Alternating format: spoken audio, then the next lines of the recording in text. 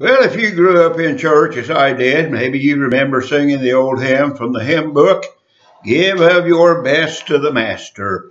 This is Pastor Hayton and another Lower Lights devotional.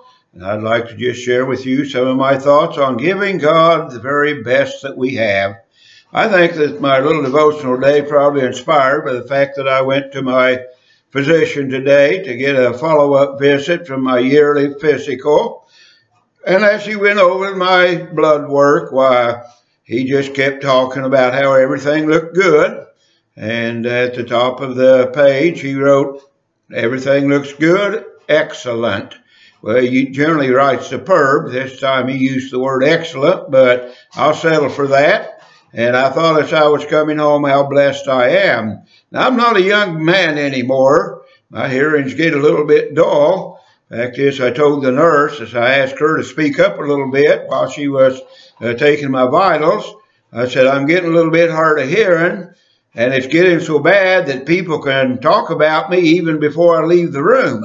So I am getting a little bit hard of hearing, and uh, my joints sometimes ache a little bit, and I get up after sitting a while and kind of stove up a little bit. And I told the doctor, I said, you know, I find things that I used to do so easily a little bit more difficult to do. And he looked at me and said, well, maybe age has something to do with that. And so I know that there's the normal uh, things that take place as we grow older. This body is uh, going to deteriorate. The natural progression of life is towards death. And so we're going to uh, find ourselves, this old body, wearing out. A lot of people go and get new body parts, and I hope I don't have to do that anytime soon, but it's remarkable how they can replace a knee or a shoulder or other joints that need to be replaced. And, and uh, you know, modern medicine and technique has uh, extended life and the quality of life for older people. And if the time comes that I need any of that, I guess I'll probably submit to it because I want to uh, stay healthy. And I thought about if the doctor gave me a pretty good bill of health, I thought I owe a lot to the Lord.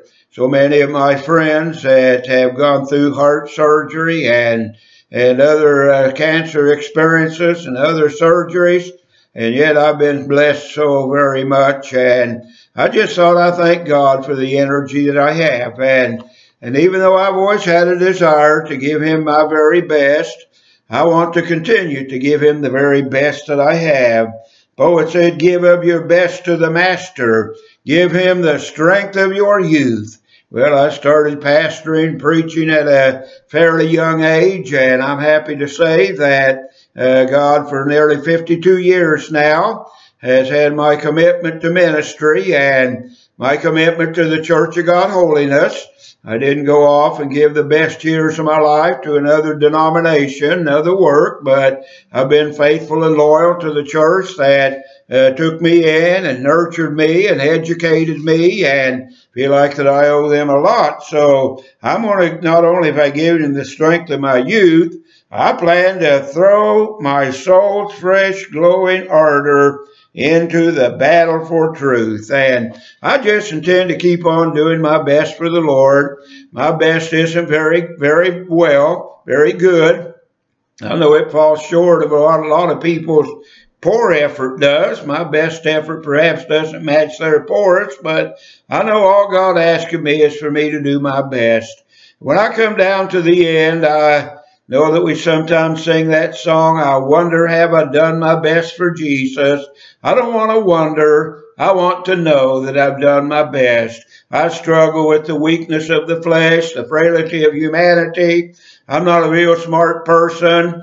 I go through my battles and, and subjected to uh, difficulties in life, but I can look back and say I want to give God my best. And today I'm more determined than ever to give God the very best that I have, to do the best that I can with His help and grace. Heavenly Father, thank you that Thou dost permit us to labor for you. May we just continue to do our best, Lord. Give the very best that we have. We pray in Jesus' name. Amen.